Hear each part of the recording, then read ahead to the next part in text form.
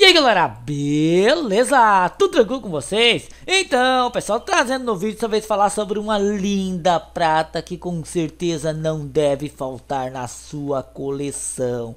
Uma peça muito bonita, gente. 500 réis, ano 1889. Antes não esqueça de deixar aquele like, pessoal, compartilhe nossos vídeos.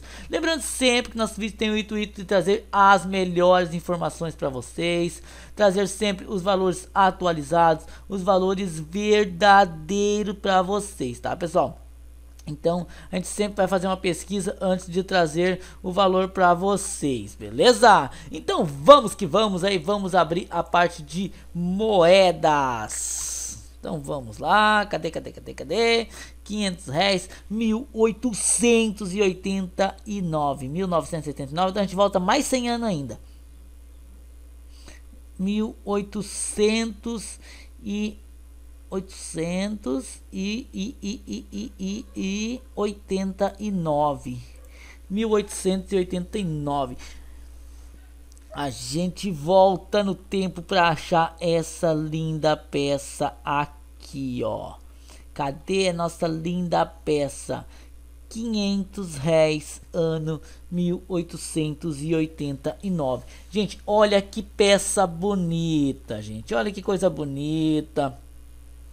Com certeza vale a pena ter na coleção. Eu ia até levantar uma discussão aqui, mas não vou. Depois eu vou sim, vocês vão concordar comigo. Então aguarde o vídeo aí. 500.879. 4.541.168 moedas.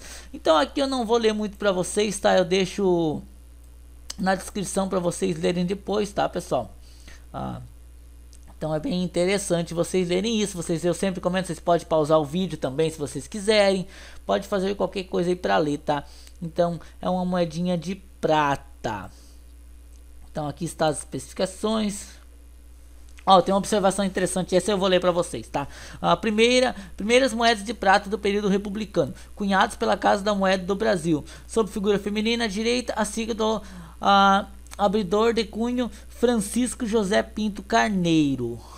FC, então, aqui não significa flor de cunho, tá? É do Francisco, pessoal, tá? Então vamos ao que interessa. O que que essa peça tem de bom? Quanto vale? E depois vamos discutir um pouquinho. Vamos mesmo. Vamos mesmo, que nem fala o povo por aí. Gente, 1889, o catálogo marca 24 reais MBC, 42 reais soberba, 70 flor de cunho. Partindo desses valores, ah, primeiro deixa eu falar uma coisa rapidão. Preço de mercado, eu vi uma sendo vendida ontem por 30 reais, tá pessoal? Então ela pega um pouquinho mais do que catálogo ali, mas ela fica em torno de ah, 30, 35, 40 elas MBC, tá pessoal? Com sorte você consegue por 24 também.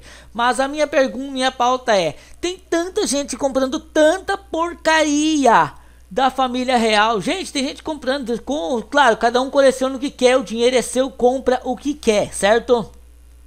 Mas gente, eu não entendo. Uma moeda ali que bateu alguma coisinha em cima da estrela, a estrela ficou torta. Ah, eu vou pagar 25 reais. Pegue paga 25 reais numa prata. Para de comprar esse tipo de moeda, gente. Claro, tudo bem, tem gente que coleciona, mas eu acho que... Ah, eu não entendo, sabe? São moedas que surgiram agora, são moedas com erros bem simples e o mercado inflacionou muito nesse quesito, gente. Deixa a opinião de vocês nos comentários, quem assistiu até aqui. Mas eu prefiro mil vezes comprar essa prata por 30 reais de comprar um reverso invertido por 30 reais. Minha opinião. Deixa a opinião de vocês aí, galera. Um grande abraço e até a próxima.